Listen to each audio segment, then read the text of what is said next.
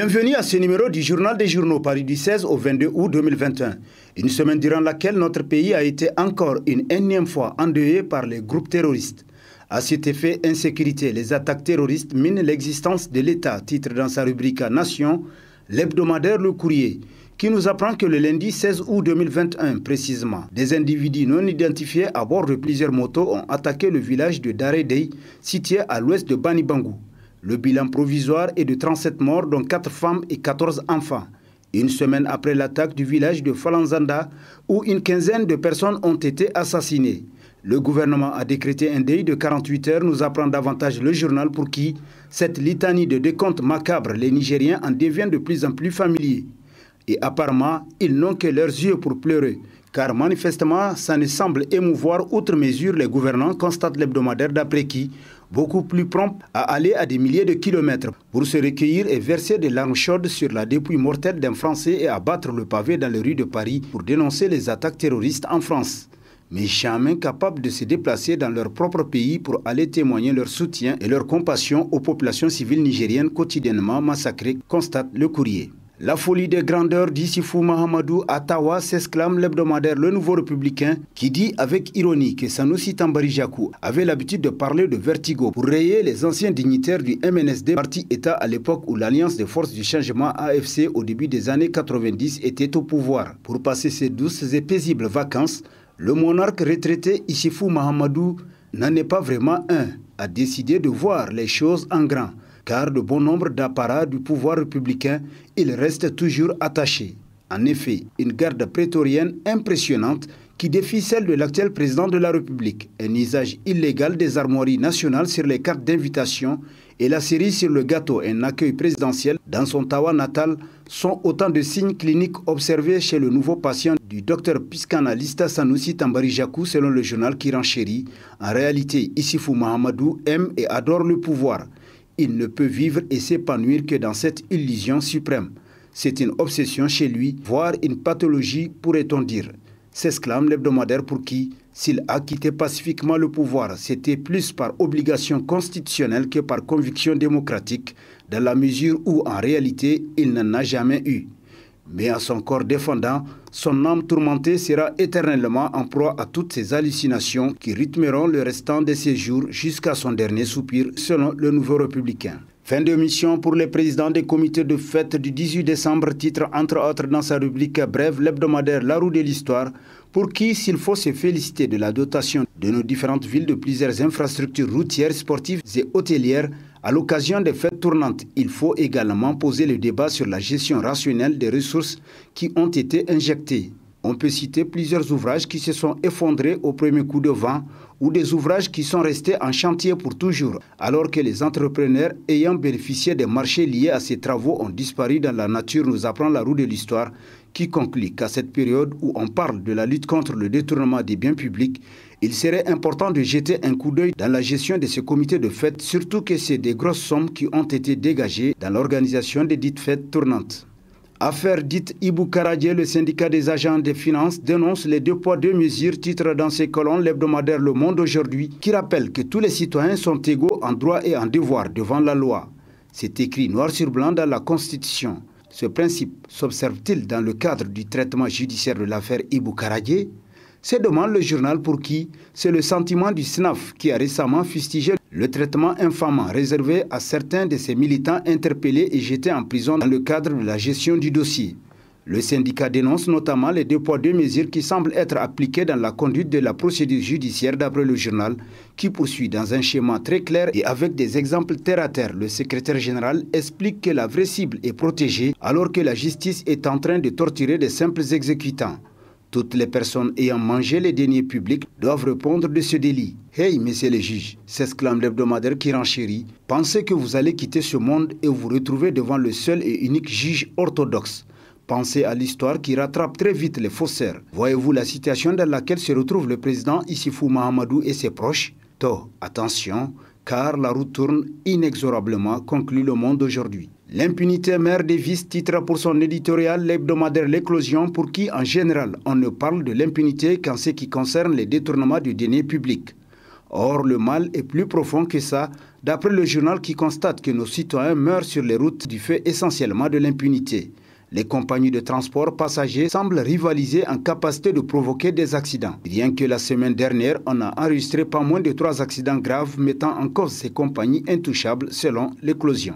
Sécurité routière et accidents de la circulation, STM doit revoir son système pour la sécurité des voyageurs, s'exclame l'hebdomadaire Le Temps qui constate qu'à toutes ces compagnies de transport en commun, il faut mettre en place un dispositif logistique et sécurité fiable avec un staff de qualité et vigilant. L'exigence de la limitation de vitesse, le respect du code de la route de manière stricte à travers l'installation d'un système de tracking et de géolocalisation fiable un contrôle médical et psychologique régulier de temps en temps des chauffeurs de bus, le respect des heures de travail par semaine avec un système de relève bien contrôlé sur chaque bus et la formation continue des chauffeurs. En plus, l'ACAFER doit effectuer le suivi régulier de l'état des routes au Niger dans la mesure où ces compagnies s'acquittent de leurs devoirs d'après l'hebdomadaire pour qui le ministère des Transports doit revoir les heures de sortie des bus et suspendre le système de blocage des bus au péage à la sortie des villes qui, après le top départ, crée les affouages et chacun veut doubler l'autre. L'autorité de régulation du secteur de transport doit aussi jouer son rôle afin qu'il y ait un contrôle régulier tout au long des trajets du respect du code de la route. En cas de manquement, la compagnie doit être sanctionnée sans parti pris car on a l'impression que les compagnies de transport sont plus puissantes que cette instance qui est là pour la forme, conclut le temps. Politique à propos du rapprochement entre Hamamadou et Bazoum titre dans ses colonnes l'hebdomadaire Le Courrier qui nous apprend que la question inquiète les turiféraires d'Issifou Mahamadou jusqu'à ce que selon une source crédible interne au PNDS d'après le journal, elle aurait été l'objet d'une réunion du comité exécutif national du parti. Il y a quelques jours, Foumoukay Gado aurait été interpellé sur la question par le CNPNDS à propos de l'information qui circule sur un rapprochement entre Hamamadou et Bazou Mohamed. Selon toujours la source de l'hebdomadaire, en réponse aux membres du comité exécutif, Foumoukay Gado aurait dit qu'il a posé la question à Bazou Mohamed. Au retour, Bazoum lui a signifié qu'il avait appelé au téléphone Hama Amadou pour lui demander son état de santé. Et Hama lui a dit que tout va bien. Il lui a rajouté que si ça ne va pas, de prendre attache avec le juge d'instruction pour une prorogation de son séjour. À en croire la source du journal, après cette réponse donnée par Fumako Gado, des turiféraires du défunt régime auraient exprimé leur mécontentement. Ils auraient demandé la raison pour laquelle Bazoum Mohamed a appelé Hama Amadou. En quoi l'état de santé de Hama le regarde? C'est bien méchant et va au-delà de la politique, constate en conclusion le courrier. Alliance ANDP Zamalahi PNDS, les scènes de ménage tumultuées a constitué l'un des titres à la une du bimensuel Toubal Info, pour qui, depuis la fin des échéances électorales 2020-2021, force est de constater que les bons rapports qui caractérisaient les relations entre le PNDS et son fidèle allié, l'ANDP, sont en dégradation et vont de mal en pis au niveau de la région de Dessau.